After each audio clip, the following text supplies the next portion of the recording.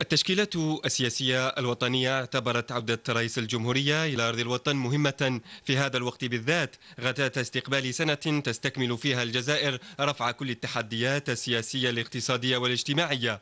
حركة الإصلاح الوطني أعربت عن ارتياحها العميق لعودة رئيس الجمهورية مؤكدة استعدادها الدائم لكل ما تمليه مقتضيات المصلحة الوطنية فيما أبدت حركة البناء الوطني ارتياحها بعودة رئيس الجمهورية.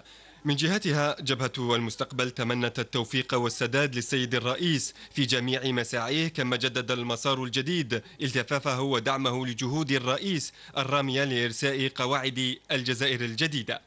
أما حركة مجتمع السلم فرحبت بالعودة الميمونة للرئيس متمنية له السداد في مهامه بما يخدم البلاد والعباد.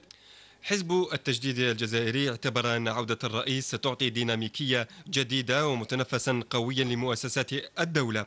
التجمع الوطني الديمقراطي هو الآخر أكد التزامه بالعمل يدا بيد من أجل بناء جزائر مستقرة ومزدهرة. فيما رحبت جبهة التحرير الوطني بعودة السيد الرئيس لمواصلة مسار البناء. كما رحبت عديد الأحزاب السياسية عبر بيانات لها وعلى وسائط التواصل الاجتماعي بعودة الرئيس.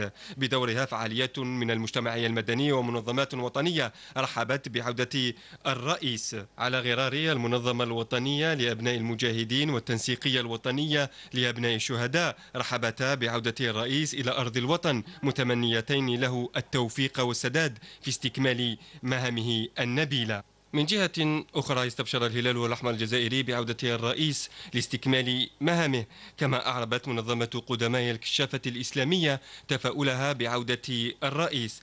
أما المشيخة العامة للطريقة القادرية بالجزائر وعموم إفريقيا والطريقة التيجانية في العالم حمدت الله على عودة وسلامة رئيس الجمهورية داعية الله أن يعينه على خدمة الجزائر.